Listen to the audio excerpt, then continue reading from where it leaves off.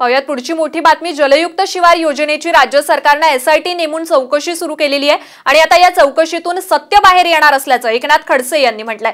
त्याचबरोबर बीएचआर पथसंस्थेच्या गैरव्यवहाराच्या चौकशीचे आदेश हे तत्कालीन भाजप सरकारमधील मंत्र्यांनीच दिले होते.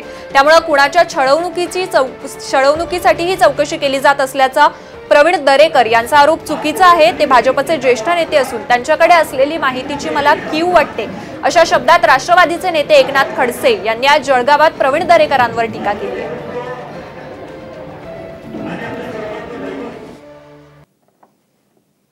सरकारने एस आय टी नेमून चौकशी सुरू केलेली आहे. एक अत्यंत चांगला कार्यक्रम या ठिकाणी आहे म्हणून त्याचा गवगवा करण्यात आला.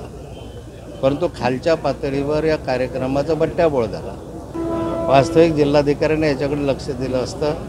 तर इतक्या मोठ्या प्रमाणावर ज्या भ्रष्टाचाराच्या तक्रारी आहेत त्या आल्या नसत्या.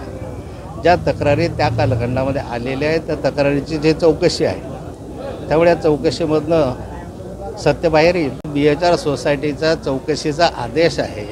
हा भारतीय जनता पार्टीच्या मंत्र्यांनी डिसेंबर दोन हजार अठराला दिलेला आहे.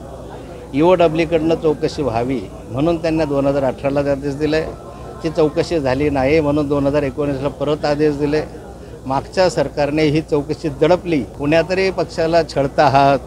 कुणाला तरी आमच्याकडे छळवणूक म्हणून चौकशा सुरू केल्या आहेत. ही गोष्ट खरी नाही. हे आदेश भारतीय जनता पार्टीच्याच कालखंडातले त्याची अंमलबजावणी आता होते.